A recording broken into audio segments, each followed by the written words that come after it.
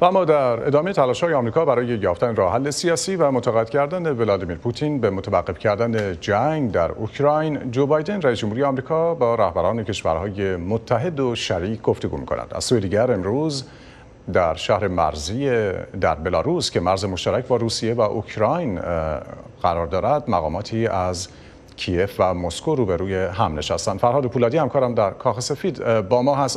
آمریکا فرهاد امروز چه روی کردی در قبال جنگ روسیه در اوکراین اتخاذ کرده؟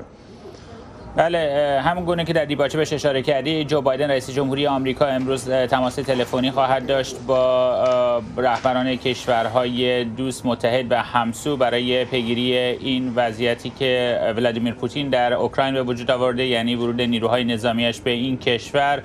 قرار بود این جلسه ساعتی 11 رو به وقت محلی واشنگتن شروع بشه. هنوز اطلاعی به ما نداده. کاخ سفید در رابطه با این در جریان بودن این مذاکرات این تماس.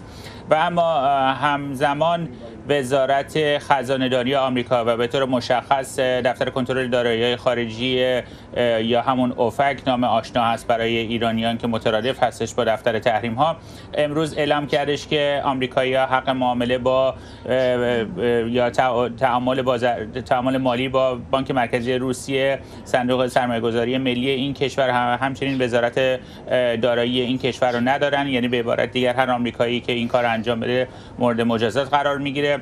و وزارت خارجه آمریکا در بیانیه های جداگانه اعلام کردش که سفارت آمریکا در بلاروس مینسک پایتخت بلاروس را موقتا تعطیل می‌کنه و نیروهای یا دیپلمات‌های خود را در سفارتش در مسکو نیروهای غیر ضروری رو به شدت کاهش میده و دو هشدار هم صادر کرد برای شهروندان آمریکا که هر چه زودتر بلاروس و روسیه رو ترک کنن و به این دو کشور هم سفر نکنند آقای آنتونی بلینکن هم دیروز در مجموعه گروه هفت به اضافه آقای دیمیترو کولیبا وزیر خارجه اوکراین دیدار داشتن تا هماهنگی بیشتری را انجام بدن برای ادامه کمک ها به مردم اوکراین و ایجاد یک صف واحد متحد در برابر ولادیمیر پوتین رئیس جمهوری روسیه. و فرهاد چه جزئیاتی منتشر شده تا الان از مذاکرات بین روسیه و اوکراین؟ خب این جلسه به چند ساعتی پیش به وقت محلی واشنگتن شروع شد. در شهر مرزی گومل در بلاروس هم نزدیکی اوکراین هست هم در مرزی خود روسیه. دو طرف به میزبانی این کشور حضور داشتن یعنی طرف اوکراینی و طرف روسی.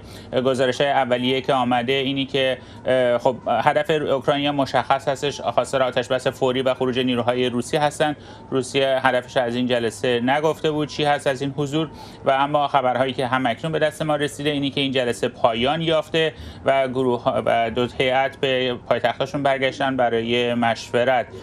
فعلا چیزی بیشتر از این مخابره نشده. شفاف نبودن اهداف روسا در مذاکراتی که به میزبانی بلاروس انجام میشه اشاره کردیم. کرملین امروز چه واکنش و صحبتی داشته تا الان؟ خب همه این تحولات ختم میشه به یک فرد و اونم ولادیمیر پوتین بودش که امروز جلسه داشتش با مقامات ارشد اقتصادی و مالی از جمله وزیر اقتصادی و داراییش و همچنین رئیس کل بانک مرکزیش و این جمله رو برای دنیای غرب اتحادیه اروپا داشت. من شما را جمع کردن تا در مورد مسائل اقتصادی و مالی که تاکنون با نخست وزیر میخائیل میشستین بررسی می کردیم صحبت کنم. طبیعتا درباره تحریم هایی که جامعه به اصطلاح غربی یا آنچه که در سخنرانی خود آن را امپراتوری دروغ نامیدم صحبت کنم.